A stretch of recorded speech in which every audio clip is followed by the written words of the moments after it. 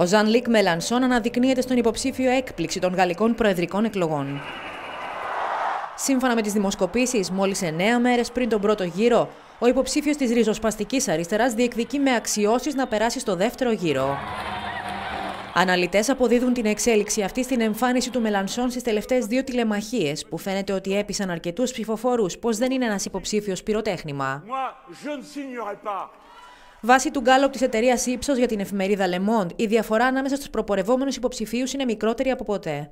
Ο κεντρός Εμμανουέλ Μακρόν και η ακροδεξιά Μαρίν Λεπέν βρίσκονται στο 22%, ο Μελανσόν στο 20% και ο συντηρητικός Φιγιόν στο 19%. Σύμφωνα με την ίδια δημοσκόπηση, εάν ο Εμμανουέλ Μακρόν περάσει στο δεύτερο γύρο, θα είναι ο επόμενος ένικος του Ελιζέ. Τα πρόσφατα γκάλοπ είναι άλλο ένα πλήγμα για τον Φρανσουά Φιγιόν, που έχει δώσει μάχη για να απαντήσει στις κατηγορίες για νεποτισμό. Ο Φιγιόν δεν είναι πλέον φαβορή, όμως παραμένει στην κούρσα.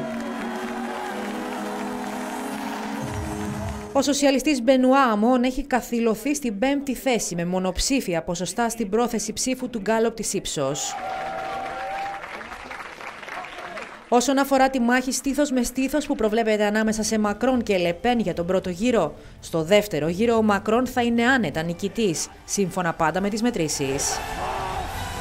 Ανάμεσα στους υπόλοιπους έξι διεκδικητές της Προεδρίας υπάρχουν κάποιοι βετεράνοι, αλλά κανείς δεν αναμένεται να αλλάξει τις ισορροπίες.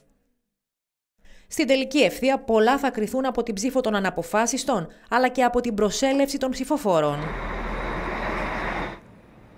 Στις προεδρικές εκλογές του 2012 η συμμετοχή έφτασε το 80%. Τώρα όμως αναμένεται να κυμανθεί σε χαμηλότερα επίπεδα.